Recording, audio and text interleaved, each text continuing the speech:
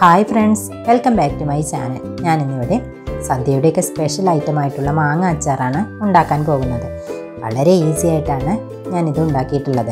നല്ല ടേസ്റ്റുമാണ് അപ്പോൾ നമുക്ക് ഇതെങ്ങനെയാണ് ഉണ്ടാക്കുന്നതെന്ന് നോക്കാം. ഇതിനായിട്ട് ഞാൻ കുറച്ച് മാങ്ങ എടുത്തിട്ടുണ്ട്. നല്ല ഫ്രഷ് മാങ്ങയാണ് എടുത്തത്. ഇത് ചെറിയ കഷ്ണങ്ങളാക്കിയിട്ട് ഒന്ന് മുറിച്ചെടുക്കണം. ഇതുപോലെ അരിഞ്ഞെടുക്കാം. അതിനുശേഷം ഒരു കടായി അടുപ്പിൽ വെച്ചിട്ട് അതിലേക്ക് രണ്ട് ഗ്ലാസ് വെള്ളം ഒഴിച്ചു കൊടുത്ത് കാൽ സ്പൂൺ മഞ്ഞൾപ്പൊടിയും ഒരു ചെറിയ കഷ്ണം കായം പൊടിച്ചതും കൂടി ചേർത്ത് കൊടുത്ത് നന്നായിട്ടൊന്ന് തിളപ്പിച്ചെടുക്കണം.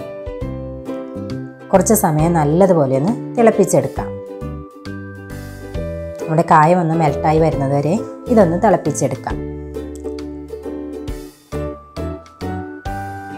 ഇടയ്ക്ക് നമ്മളൊന്ന് ഇളക്കി കൊടുക്കാം.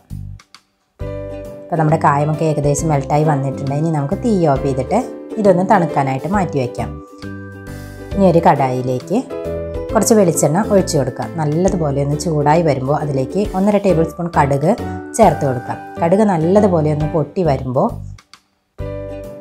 അതിലേക്ക് കുറച്ച് കറിവേപ്പില ചേർത്ത് കൊടുക്കാം. ഇനി ഇതിലേക്ക് നമ്മുടെ എരിവിന് ആവശ്യമായിട്ടുള്ള മുളക് പൊടി ചേർത്ത് കൊടുക്കാം. ഈ സമയത്ത് നമ്മൾ തീ കുറച്ച് വയ്ക്കാൻ പ്രത്യേകം ശ്രദ്ധിക്കണം.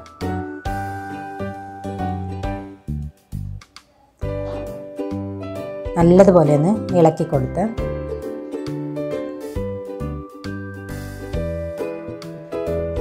ഒരു ടേബിൾ സ്പൂൺ ഉലുവ പൊടിച്ചത് കൂടി ഇതിലേക്ക് ചേർത്ത് കൊടുക്കാം. എന്നിട്ട് ഒന്നുകൂടി ഒന്ന് ഇളക്കി കൊടുക്കാം.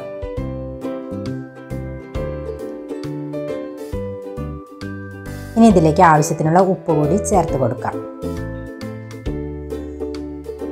ഇനി ഇതിലേക്ക് രണ്ട് ടേബിൾ സ്പൂൺ വിനാഗിരി കൂടി ഒഴിച്ച് നന്നായിട്ടൊന്ന് തിളപ്പിച്ച് എടുക്കാം. ഇനി നമ്മൾ തീ ഓഫ് ചെയ്തതിന് ശേഷം ഇതിലേക്ക് നമ്മൾ അരിഞ്ഞു വെച്ചിരിക്കുന്ന മാങ്ങ കഷ്ണങ്ങൾ ചേർത്ത് കൊടുക്കാം. എന്നിട്ട് നല്ലതുപോലെ ഒന്ന് ഇളക്കിയെടുക്കണം.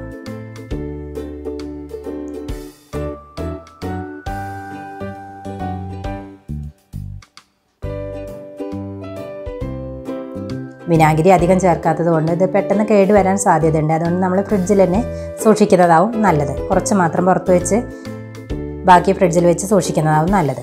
ഇനി ഇതിലേക്ക് രണ്ട് ടേബിൾ സ്പൂൺ അച്ചാർ പൊടി കൂടി ചേർത്ത് കൊടുത്ത് ഒന്നുകൂടി ഒന്ന് മിക്സ് ചെയ്യാം.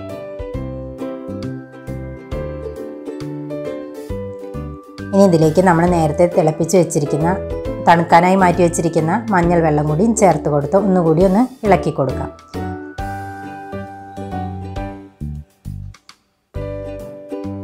ഇപ്പോൾ മാങ്ങയുടെയൊക്കെ സീസണാണ് അതുകൊണ്ട് എല്ലാവരും ഇതൊന്ന് ട്രൈ ചെയ്ത് നോക്കണം.